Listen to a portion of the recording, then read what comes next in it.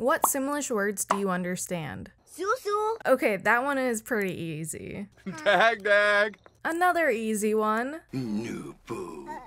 Nubu. Oh, okay, maybe you got that. Guksapa. Falabo. Yeah, I don't know about that one. Hey! Have you ever wondered about Simlish? How did they invent it? Can someone become fluent in it? Is it only ever used in The Sims? I wondered some of that myself, to be honest. So I looked into it, and this is what I found.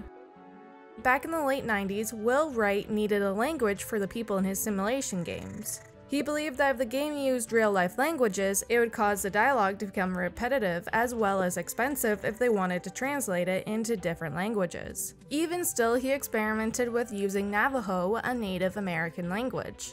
In the end, he decided that he wanted to use a language made up of gibberish words therefore allowing the dialogue to be open for different interpretations. The gibberish also made it harder for players to be able to recognize and realize that there is a repetition within the speech.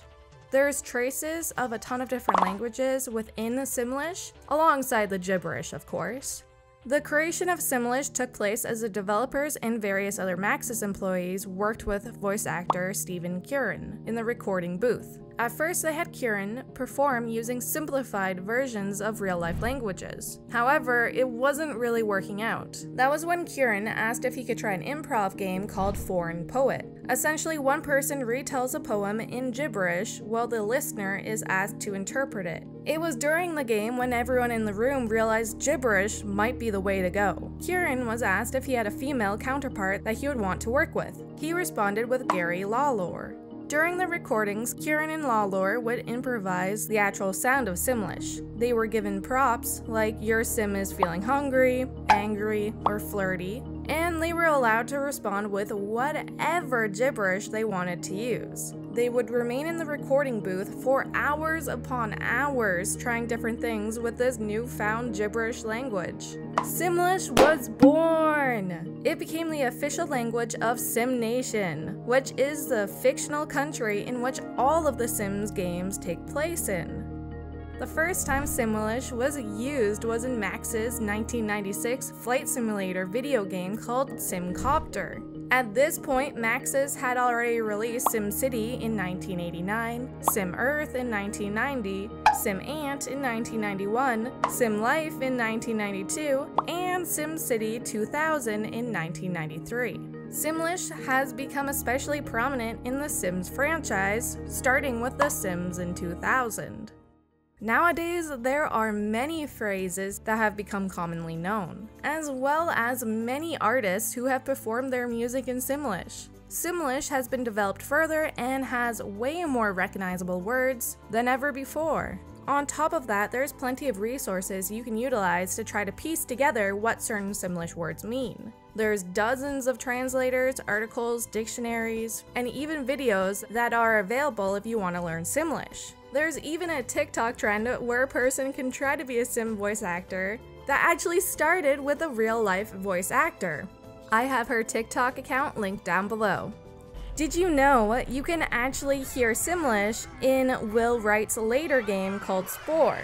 You can teach your Spore Simlish. That's very cool. In addition, Simlish is featured in all of the other Sims games, not just the main Sims franchise, like SimCity or My Sims and stuff like that. So even though originally Simlish was only gibberish, it seems like someone can actually learn it, right? There's a ton of resources. It couldn't be that hard to learn it. Unfortunately, you wouldn't be able to become absolutely fluent in it. Real quick, isn't it exciting when you hear a popular song in The Sims? I love being able to recognize popular real life songs while playing the game. Actually, when I was playing recently, I recognized the song Nicknames by the band Dayglow. It got me super excited. To take even further, there's a video of Katy Perry performing last Friday night for Sims 3. It's crazy watching this. There's been dozens of popular artists or bands who have performed in Simlish nowadays, which is pretty cool. What's your favorite Simlish song?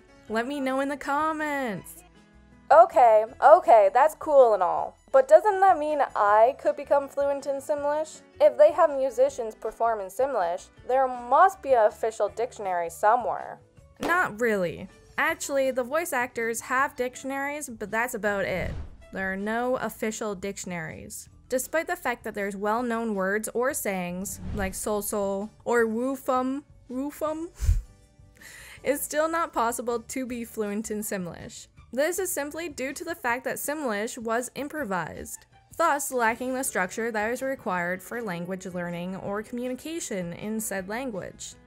What about Star Trek's Klingon? Or Dothraki from Game of Thrones? Those are two fictional languages that you can actually learn. Dothraki is actually a language you can use while using Duolingo. Still, you won't be finding Simlish on Duolingo anytime soon. This is because, unlike those two languages, Simlish lacks defined parts of speech. I know it's majorly disappointing knowing that you won't be able to fully understand your Sims or have secret Simlish conversations with your friends, but I think this is probably for the best for the game.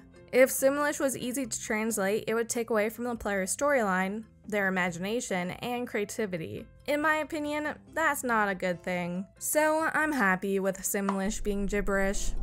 Thank you so much for watching the whole video. If you enjoyed it, please don't forget to give it a thumbs up and subscribe for more Sims and Paralives related content. Thank you again, and I'll talk to you very soon. Bye!